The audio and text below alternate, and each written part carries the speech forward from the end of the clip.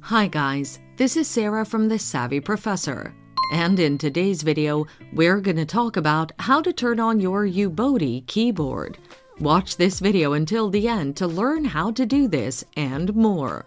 The Ubotie keyboard is an ultra-portable wireless keyboard featuring Bluetooth 5.1 to pair with your devices. It has a retro-style design inspired by typewriters. This keyboard sports colorful and removable keys. However, it doesn't have a power button, which confuses new owners who want to set it up.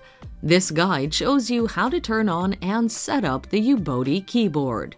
Number 1. Flip your keyboard and insert a pair of AAA batteries. Number 2. Start typing to wake the keyboard up.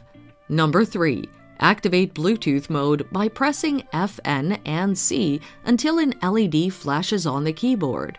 Number 4. Enable your device's Bluetooth and give it time to find nearby devices. Number 5. Select your keyboard from the list and begin the pairing process. You can switch between Mac and Windows by pressing FN and E or FN and W. So there you have it. Follow these steps to turn on your Ubotie keyboard. Thanks for watching. Till next time.